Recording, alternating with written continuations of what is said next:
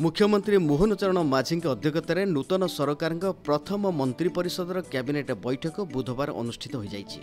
ବୈଠକ ପରେ ଗଣମାଧ୍ୟମକୁ ସୂଚନା ଦେଇ ମୁଖ୍ୟମନ୍ତ୍ରୀ ଶ୍ରୀ ମାଝୀ କହିଛନ୍ତି ମନ୍ତ୍ରୀ ପରିଷଦ ବୈଠକରେ ଚାରୋଟି ଗୁରୁତ୍ୱପୂର୍ଣ୍ଣ ପ୍ରସ୍ତାବ ଗ୍ରହଣ କରାଯାଇଛି। ସେଗୁଡ଼ିକ ମଧ୍ୟରେ ପ୍ରଥମ ପ୍ରସ୍ତାବ ହେଉଛି ଆଜିଠାରୁ ଶ୍ରୀମନ୍ଦିରର ଚାରିଦ୍ୱାର ଖୋଲିବା। ଅନ୍ୟ ପ୍ରସ୍ତାବଗୁଡ଼ିକ ହେଲା ଶ୍ରୀମନ୍ଦିରର ଉନ୍ନତି ପାଇଁ ପାଞ୍ଚଶହ କୋଟି ଟଙ୍କାର କର୍ପସ ଫଣ୍ଡ ଗଠନ କରାଯିବ। ରାଜ୍ୟରେ ସମୃଦ୍ଧ କୃଷକ ନୀତି ଅଣାଯାଇ ଧାନର ସର୍ବନିମ୍ନ ସହାୟକ ମୂଲ୍ୟ କ୍ୱିଣ୍ଟାଲ ପିଛା ତିନି ହଜାର ଶହେ ଟଙ୍କାକୁ ବୃଦ୍ଧି କରାଯିବ।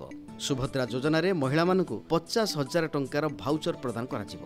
ରାଜ୍ୟ ସରକାରଙ୍କ ଏହି ଯୋଜନା ଆସନ୍ତା ଶହେ ଦିନ ଭିତରେ କାର୍ଯ୍ୟକାରୀ କରାଯିବ ବୋଲି ସେ କହିଛନ୍ତି।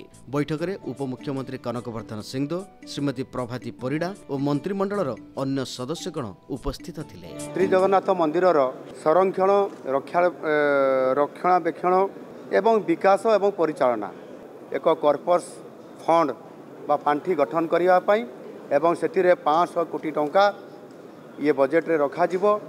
ତୃତୀୟ ପ୍ରସ୍ତାବ ହେଉଛି ଧାନର ସହାୟକ ମୂଲ୍ୟ ଏବଂ ବିକ୍ରୟ ଏ, ନୀତି ଉପରେ ସ୍ୱତନ୍ତ୍ର ଭାବରେ କିଭଳି ଭାବରେ ଚାଷୀଙ୍କୁ ସହାୟତା ଦିଆଯାଇପାରିବ ଏ ଯେଉଁ ସମସ୍ୟା ଉପଜେ ତା ଉପରେ ସଂକଳ୍ପତ୍ର ଯେଉଁ ସ୍ଥାନ ଦିଆଯାଇଥିଲା ସେଥିପାଇଁ ଗୋଟାଏ ସ୍ୱତନ୍ତ୍ର ସରକାର ନୀତି ଆଣିବା ପାଇଁ ଆଜିର ଏ ପ୍ରସ୍ତାବରେ ରଖିଛନ୍ତି।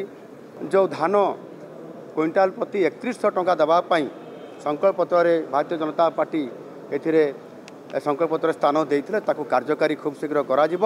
ଏ ସୁଭଦ୍ରା ଯୋଜନାକୁ ଆଗାମୀ ଶହେ ଦିନ ଭିତରେ ତାକୁ କାର୍ଯ୍ୟକାରୀ କରିବା ପାଇଁ ଏବଂ ବିଶେଷ କରିକି ପ୍ରତ୍ୟେକ ମହିଳା ହିତାଧିକାରୀଙ୍କୁ ପଚାଶ ହଜାର ଟଙ୍କାର ନଗଦ ଭାଉଚର ପ୍ରଦାନ କରାଯିବା ପାଇଁ ଯେଉଁ ସଂକଳ୍ପତ୍ରରେ ସ୍ଥାନ ଥିଲା ତାକୁ କାର୍ଯ୍ୟକାରୀ କରିବା ପାଇଁ ଆଜିର ଏ ପ୍ରସ୍ତାବରେ ନିଷ୍ପତ୍ତି ହୋଇଛି ଏବଂ ସେଥିପାଇଁ ବିଶେଷ କରିକି ସମ୍ପୃକ୍ତ ବିଭାଗକୁ ମଧ୍ୟ ଏହା ଉପରେ ସମ୍ପୂର୍ଣ୍ଣ ତାହାର ଗାଇଡ଼ଲାଇନ୍ ଏବଂ ରୂପରେଖ ତିଆରି କରିବା ପାଇଁ ମଧ୍ୟ ନିର୍ଦ୍ଦେଶ ଦିଆଯାଇଛି ବିଭାଗକୁ।